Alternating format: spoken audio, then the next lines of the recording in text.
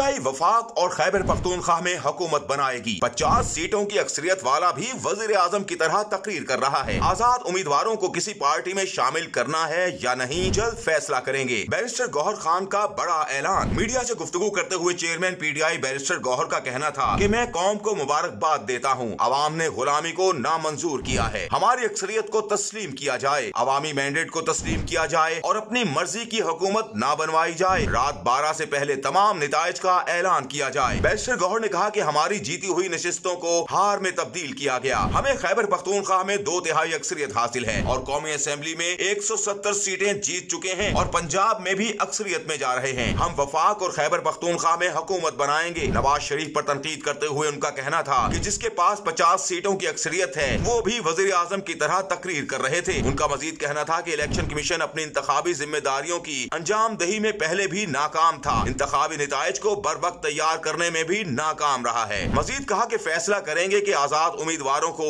किसी पार्टी में शामिल करना है या नहीं मजलिस वहादतल मुसलमिन की सीटें हमारी और हमारी सीटें उनकी है पार्टी ज्वाइन करने का फैसला जल्द करेंगे और मखसूस नशिस्तें हासिल करेंगे